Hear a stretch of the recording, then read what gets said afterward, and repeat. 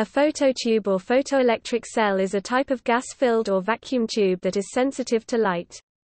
Such a tube is more correctly called a photoemissive cell to distinguish it from photovoltaic or photoconductive cells.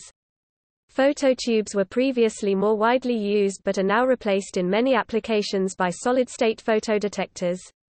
The photomultiplier tube is one of the most sensitive light detectors, and is still widely used in physics research.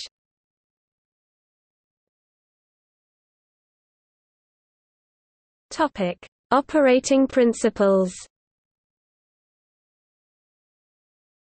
Phototubes operate according to the photoelectric effect. Incoming photons strike a photocathode, knocking electrons out of its surface, which are attracted to an anode.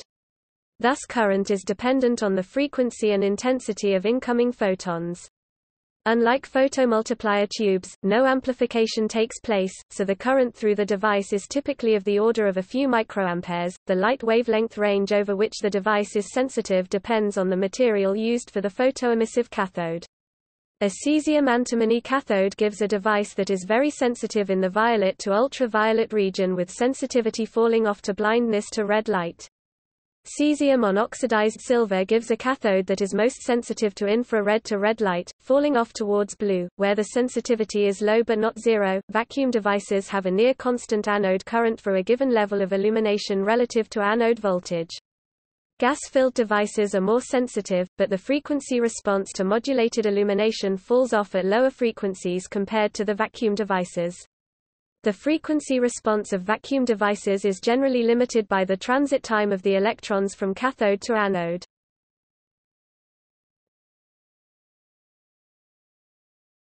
Topic: Applications.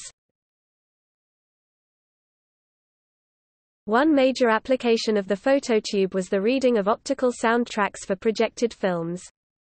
Phototubes were used in a variety of light-sensing applications until they were superseded by photoresistors and photodiodes.